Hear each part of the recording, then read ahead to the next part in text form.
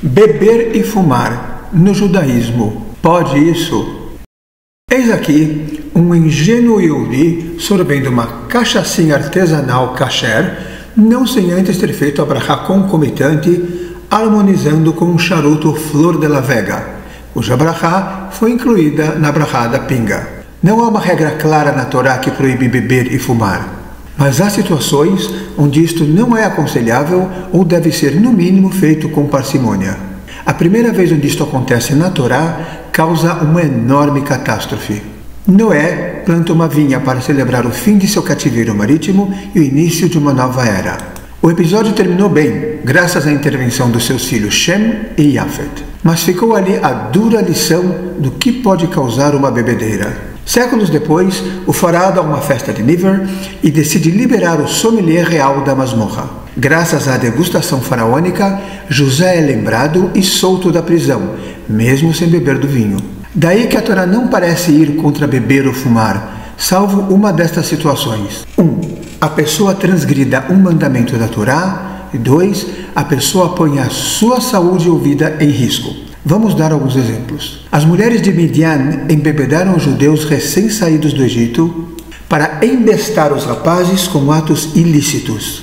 É óbvio que neste caso uma gota já seria muito. Mais tarde, dois dos dois filhos de Arão, Nadav e Avihu, entrariam bêbados no santuário, oferecendo um fogo estranho e sendo punidos com a morte. Do episódio do bezerro de ouro, então, nem se fala, o barril correu solto. Indo agora para o lado positivo. Na noite do Seder, temos que tomar quatro copos de vinho para lembrar a saída do Egito. O vinho aqui tem significado de celebração e de alforria. Mas quem não pode tomar álcool, toma suco de uva e tudo bem. Lembra do vinho do faraó? Pois é, mais uma vez, uma noite de degustação de vinhos vem a nosso favor. Os judeus da Pérsia haviam pecado acorrendo à beberragem do Hashverosh, Assuero. A Torá tem uma regra: aquilo que estragou é o que vai consertar. O que faz a rainha Esther? Pede ao rei um coquetel real e convida Haman. No meio da bebedeira de Haman, Esther dedura o malandro e salva o povo judeu. E por causa deste episódio, temos a permissão para beber em Purim. Para beber, não para encher a cara. A pessoa deve parar se isto for acontecer. Por este motivo, dizemos lechaim, a vida, quando bebemos, pois pode dar do contrário. O vinho é usado em inúmeras celebrações do judaísmo, como nos casamentos, no Shabbatot e nas festas judaicas. Até ao bebê que está sendo circuncidado dá-se uma gotinha de vinho para amortecer. A regra é clara: tudo pode, desde que o cérebro mande no coração. E com relação ao charuto, como fica? Aqui as opiniões se dividem. Algumas yeshivot e rabinos em Israel permitem o cigarro e etc., e outras não. As que não permitem é porque faz mal e tchau. As que permitem consideram o fumo ma'achal nefesh, parte da alimentação, e deixam a cargo do cidadão decidir o que é bom para ele. Há ainda um outro argumento alárrico da lei judaica, segundo o qual não se proíbe algo que as pessoas não conseguirão cumprir. Uma linda história racídica ilustra bem esse fato. Era véspera de Pesach na velha Rússia czar russo havia proibido importar tabaco turco sob pena de morte. Para impedi-lo, postou guardas atentos e armados em todas as fronteiras. Mas Rabbi Levi Tzhak de Berdichev queria fumar o seu cachimbinho pré-Pesach. Porém, não achava tabaco na cidade, pois todo ele vinha da Turquia. Então, Levi Tzhak deu um comando aos seus Hassidim.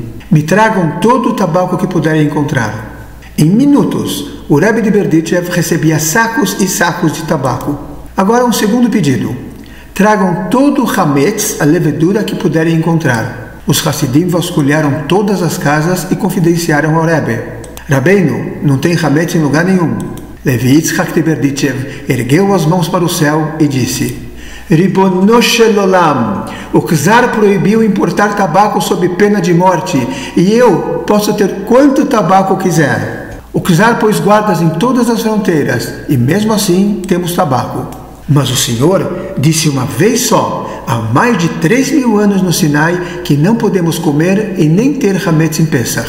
E o Senhor também não pôs nenhum guarda para impedir que isto aconteça. E mesmo assim, nenhum dos teus filhos te desobedece geração após geração. e não há hametz em casa alguma de Israel. E fumou seu cachimbinho.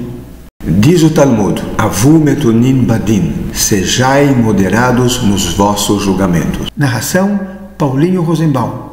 Apoio, amigos do Tropicacher. Vezaharta et Adonai Loicha, ki hu anoten hakoach la'asot E lembre-se que é Hashem Deus quem te dá a energia para prosperar.